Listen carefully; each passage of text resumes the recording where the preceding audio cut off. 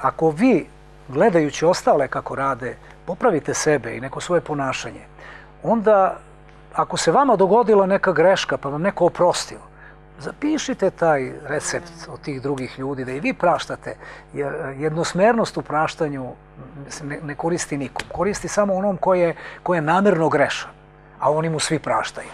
U tome cela priča. A onaj ko je nenamerno pogrešio, shvatate pa mu praštate, pa samo ste veći čovek u tom smislu. Pa veći ste do duše čovek još ukoliko praštate onome ko je namerno pogrešio.